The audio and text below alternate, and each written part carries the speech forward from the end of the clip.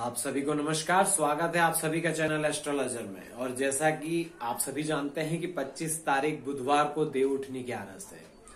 और देव उठनी ग्यारस का बहुत अधिक महत्व है भारत के अंदर। देव उठनी ग्यारस से ही विवाह आदि के मुहूर्त शुरू हो जाते हैं। इसी के साथ चातुर्मास भी समाप्त होने का द्योतक है देव उठनी ग्यारस। आज के इस वीडियो में हम जानने वाले हैं देव उठनी ग्यारस का महत्व क्या कर सकते हैं हम अपने मनोकामनाओं को पूरी करने के लिए? साथ ही हम ये भी जानेंगे कि असली शालीग्राम कहाँ से प्राप्त किया जा सकता है।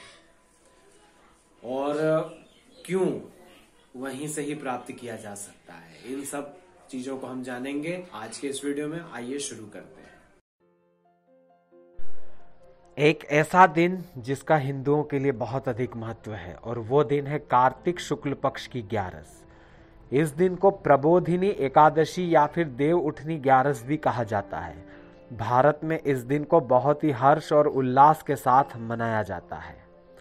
ऐसा माना जाता है कि भगवान विष्णु आषाढ़ शुक्ल पक्ष की ग्यारस को क्षीर सागर में विश्राम करने चले जाते हैं, और चार महीने बाद कार्तिक शुक्ल पक्ष की ग्यारस को उठते हैं। इसीलिए इस दिन को देव उठनी ग्यारस कहा जाता है। जब विष्णु जी सोते हैं तो उस समय विवाह आदि शुभ कार्य वर्जित हो जाते हैं और देव उठनी ग्यारस से विवाह आदि के मुहूर्त फिर से शुरू हो जाते हैं। प्रबोधिनी एकादशी को तुलसी और शालिग्राम के विवाह का भी प्रचलन है, जो कि विवाह के शुरू होने का संकेत है। अलग अलग प्रांतों में अलग अलग तरीके के रीति रिवाजों को देखा जाता है देव उठनी ग्यारस के दिन। आइए जानते हैं तुलसी और शालिग्राम के विवाह का महत्व। शालिग्राम वास्तव में भगवान विष्णु ही हैं और बिना तुलसी के हम उनकी कल्पना नहीं कर सकते हैं। कार्तिक का महीना भगवान को का सबसे प्रिय महीना है और इसी कारण कार्तिक महीने की ग्यारस देव उठनी ग्यारस के नाम से प्रसिद्ध है। और इसी दिन भारतवर्ष में तुलसी विवाह का आयोजन होता है और इस दिन के बाद से शुभ विवाह के कार्यक्रम आयोजित होने लगते हैं। भगवान विष्णु और तुलसी जी का संबंध दिव्य है और विचित्र भी। तुलसी का पूजन भारत में हर जगह किया जाता है। तुलसी का एक नाम वृंदा भी है। ऐसा कहा जाता है कि तुलसी का विवाह एक जालंधर नाम के राक्षस से हुआ था। और तुलसी के तप के प्रभाव से कोई भी जालंधर को हरा नहीं पा रहा था। इसी के समाधान के लिए देवतागण भगवान विष्णु के पास गए और प्रार्थना की। तब भगवान विष्णु ने तुलसी के पति का रूप धरा और तुलसी के पास गए, जिससे उसका तप भंग कर सके। जब तुलसी को पता चला कि उसके साथ धोखा हुआ है तो उन्होंने भगवान विष्णु को पत्थर बनने का श्राप दिया। श्रीहरि उसी समय पत्थर बन गए और तभी से शालिग्राम का अस्तित्व आया। वास्तव में तुलसी भगवान विष्णु को पति के रूप में भी पाना चाहती थी और इसी कारण भगवान विष्णु उनके पास गए रूप बदलकर। परंतु अपनी तपस्या के भंग होने के दुख से तुलसी ने अपना शरीर छोड़ दिया और तब गंडक नदी का अस्तित्व आया। और इसी कारण गंडक नदी का पत्थर ही शालिग्राम के रूप में पूजा जाता है। इस नदी को नेपाल में नारायणी नाम से जाना जाता है। तो गंडक नदी नेपाल में पाया जाता है और असली शालीग्राम गंडक नदी में ही पाया जाता है। अगर आप गंडक नदी के किनारों पर देखेंगे तो ढेरों शालीग्राम पत्थर हमें नज़र आ जाते हैं। आइए अब जानते हैं कि हम देव उठनी ग्यारस को क्या कर सकते हैं अपने जीवन को सफल बनाने के लिए, साथ ही भगवान विष्णु और तुलसी माँ की कृपा प्राप्त करने के लिए। इस दिन जल्दी उठ के दैनिक कार्यों से मुक्त हो जाना चाहिए। अगर कोई पवित्र नदी के आसपास रहते हैं तो उन्हें पवित्र नदी में स्नान करना चाहिए। पूरे दिन व्रत रख के भगवान विष्णु और तुलसी देवी की आराधना, पूजा करनी चाहिए।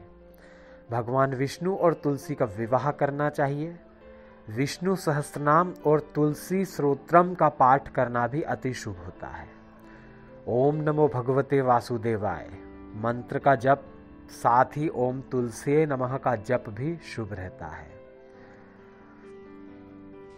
अगर किसी को विवाह में परेशानी आ रही है तो तुलसी विवाह का आयोजन अवश्य करना चाहिए। इससे भगवान विष्णु और तुलसी जी का आशीर्वाद प्राप्त होता है और विवाह के योग बनते हैं। देव उठनी एकादशी को तुलसी की पूजा, श्रद्धा और विश्वास से करने से सफलता के रास्ते खुलते हैं और संपन्नता भी आती है। भगवान विष्णु की पूजा में तुलसी के पत्ते ज़रूर प्रयोग करें। उनके चरणों में तुलसी के पत्ते अर्पित करने से कृपा की प्राप्ति होती है। भगवान विष्णु के साथ साथ माँ तुलसी की भी कृपा प्राप्त होती है। अगर रोग बहुत परेशान कर रहा हो तो ऐसे में रोज प्रातः दो चम्मच तुलसी के रस को ओम नमो भगवते वासुदेवाय मंत्र से अभिमंत्रित करके लेना चाहिए, खाली पेट। इससे इम्यूनिटी पावर बढ़ती है, साथ ही दवाइयों का असर भी तेज हो जाता है। स्वास्थ्य बढ़ने लगता है, शक्ति बढ़ने लगती है, तेज बढ़ने लगता है। देखा जाए तो देव उठनी ग्यारस का महत्व दिवाली से कम नहीं है। लोग इस दिन को दिवाली जैसा ही मनाते हैं। और इसीलिए इसे छोटी दिवाली भी कहा जाता है बहुत से प्रांतों में। इस दिन बहुत ही हर्षोल्लास के साथ लोग पटाखे भी चलाते हैं, भगवान विष्णु और तुलसी मैया का पूजन भी करते हैं। तो इस दिन का इस्तेमाल हमें भी अपने जीवन को सुखी एवं संपन्न बनाने के लिए अवश्य करना चाहिए। इस दिन चांदी के विष्णु जी और साथ ही चांदी से बने तुलसी की स्थापना करके, उनका विवाह भी करके, उन्हें भी पूजन में रखने का कई जगहों पर रिवाज है। तो आप अनेक प्रकार से देव उठनी ग्यारस का उपयोग कर सकते हैं अपने जीवन में संपन्नता लाने के लिए, स्वास्थ्य को लाने के लिए।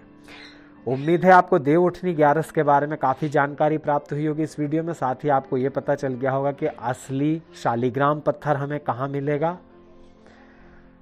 अगर वीडियो पसंद आया हो तो इसे लाइक कर दें, शेयर कर दें। अगर चैनल को अभी तक आपने सब्सक्राइब नहीं किया हो तो सब्सक्राइब भी कर लें ताकि रोज़ आपको उपयोगी वीडियोस तुरंत प्राप्त हो सके। मिलते हैं अगले वीडियो में। तब तक के लिए ओम नमः शिवाय।